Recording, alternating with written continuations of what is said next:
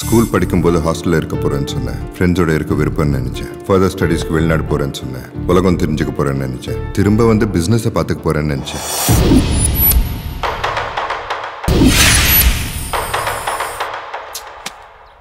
Not happening என்னையும் என் போக்கில் போக விடுங்க. Let me also earn some respect இவனை அவனை அவனை அவனை. இவங்க அத்தனை பேரையும். பார்க்கறதுக்கு உனக்கு அப்படி தோணியிருக்கும். போர் அடிச்சிடும் உனக்கு. என்னாலையும் என் ஃபேமிலியாலும் வேணா புரிஞ்சுக்க முடியல. வரப்போற பொண்ணால எப்படி முடியும்? என்னோட ஊர் எனக்கு நிறைய கொடுத்துருக்கு. நான் அதுக்கு ஏதாவது திருப்பி கொடுக்கணும்ல? இல்ல நான் குண்டு பூசணிக்கு ஆயிடுவேன்.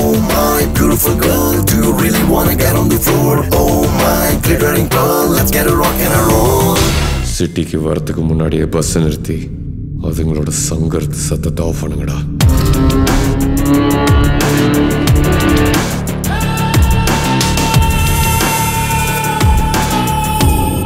என்ன பொறுக்கித்தனம் பண்ணாலும் காப்பாத்துறதுக்கு ஒரு பேட் ஃபாதர் இருக்காருன்னு சொல்லிட்டு போனானோ?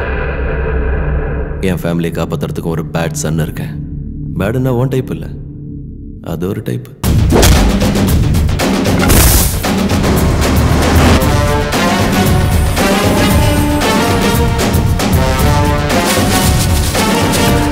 எப்போ பார்த்தாலும் இதே வேலையாடா?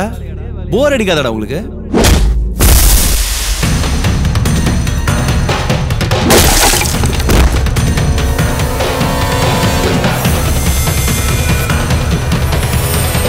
டேய். இந்த ஊர்ல இருந்து நிறைய எடுத்திருக்கீங்க.